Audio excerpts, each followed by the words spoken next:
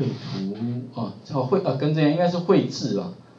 好像旧版是叫绘绘图绘制啊，反正这个这边叫绘制工具，那你就怎么样呢？再把它搬回去，放回去就好了。好，所以将来呢，如果说你会用到像三 D 里面会用到的工具又不一样，三 D 里面又会用到什么塑形啊，或者是这边里面还用到视图视赋。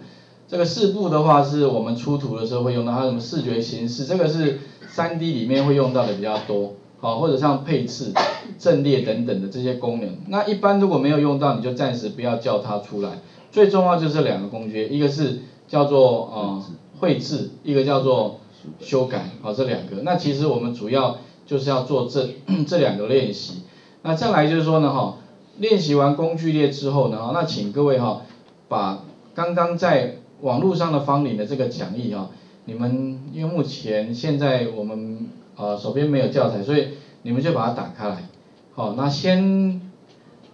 先如果有随身碟的同学啊，你就把这个档案看，先把它抠回去，然后可能的话先把印出来好了，下个礼拜开始我们会先把这些题目稍微跟各位做个讲解，好，那这边的话呢，你可以先来看一下这边的题目，比如说像第一题。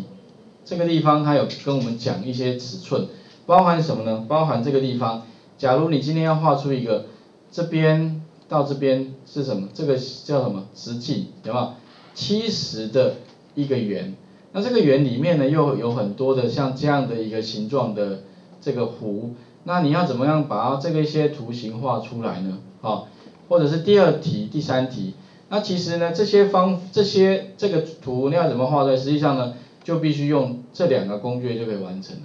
就这两个工具，好，OK，那我想各位啊，先把那个工具的部分先熟悉一下，那并且啊，把那个讲义也把它稍微开起来看一下啊，等一下我们再来看，啊，画面先还给各位一下哦。